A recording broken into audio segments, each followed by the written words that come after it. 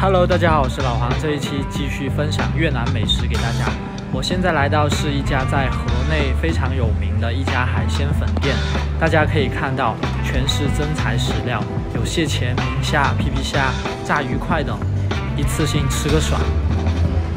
我们可以看到老板每一份放的这个料啊都非常的足。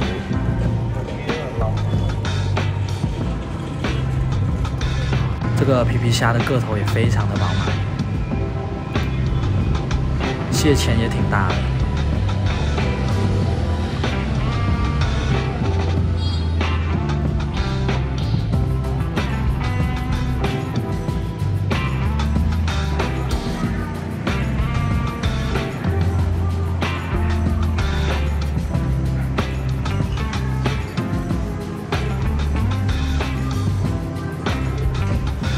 热腾腾的海鲜粉上桌了，看着非常的有食欲。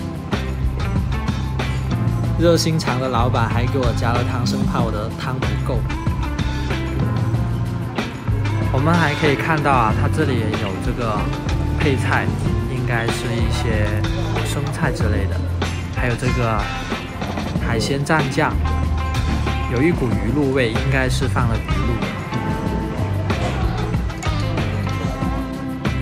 给大家看一下这个分量啊，非常的足，两个大蟹钳，两只虾，四只皮皮虾，还有这个炸鱼块，反正总之来说，这个分量非常的足了，而且价格你们敢想吗？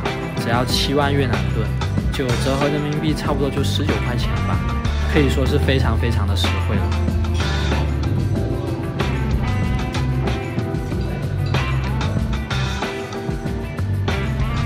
现在展现的就是越南地道吃法，就是要往汤汁里面去加这个柠檬汁，往里面挤一点柠檬汁呢，就会让这个整体的汤呢的感觉会更鲜美鲜甜一些。